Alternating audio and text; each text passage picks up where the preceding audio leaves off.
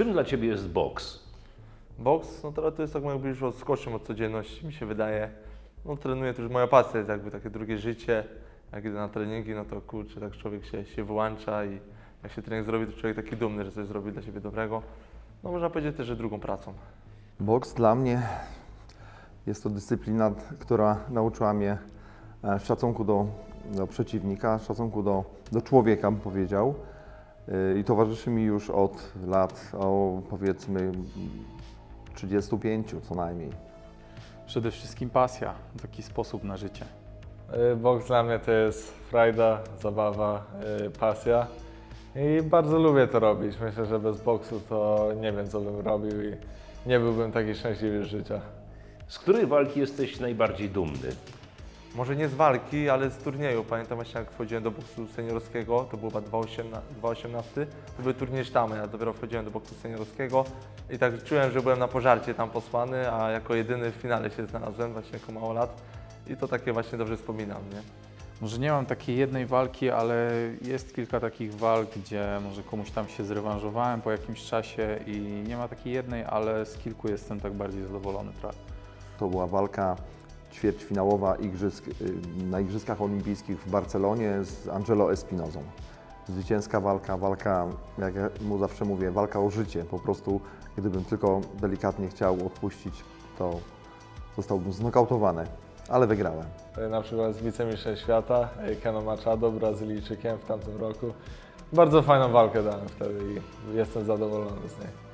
Kim dla Ciebie jest trener?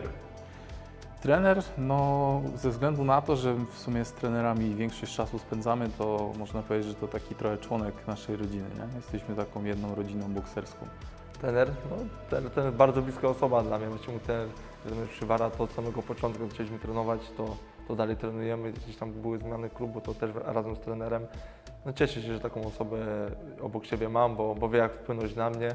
Wie kiedy mam po prostu trochę przystopować. Wiem, że też mnie stopuje, bo czasami człowiek za mocno chce trenować, a trener po prostu no, już zna mnie na wylot, zna moje wyczucie, kiedy mam przyspieszyć, kiedy mam jakby te tempo, mam już rzucić, kiedy zwolnić, więc, więc ważny człowiek jakby w moim, w moim życiu, w mojej, w mojej karierze sportowej. Kim dla Ciebie są zawodnicy? Zawodnicy to są takie, takie mm, powiem, powiedziałbym, takie moje dzie dzieciaki, które traktuję ich bardzo e, poważnie. E, staram się e, pomagać im realizować ich marzenia, spełniać te marzenia. Czasami właśnie mówię, że jak dzieciaki, ponieważ są kapryśne i trzeba umieć też z nimi rozmawiać. Nie zawsze potrafię, ale, ale staram się. Co byś powiedział tym, dla których boks to jest jakaś bijatyka pod spożywczakiem? No trochę jest, tylko że na trochę więcej zasad jest, nie?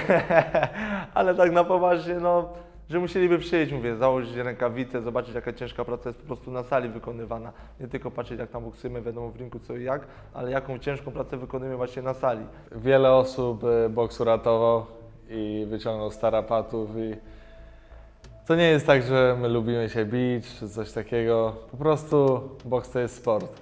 Ja powiem tak, y, boks jest to, to szermierka na pięści, tak jak powiedział świętej pamięci Papa Sztam. E, Ja się tego trzymam, bo ja preferuję ten boks techniczny i staram się moim zawodnikom, zawodnikom kadry narodowej, bo z nimi najczęściej się spotykam, e, wpoić to, że, że boks nie polega właśnie na tym, żeby bić się, e, że tak pójść w jakąś tam głupią wymianę, absolutnie nie. Zawsze takie moje motto to jest zadać jeden cios, nie przyjąć żadnego.